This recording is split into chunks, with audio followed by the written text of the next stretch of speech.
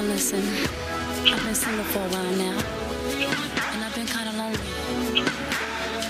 But I'm looking for somebody to talk to, love me, someone who can hold me.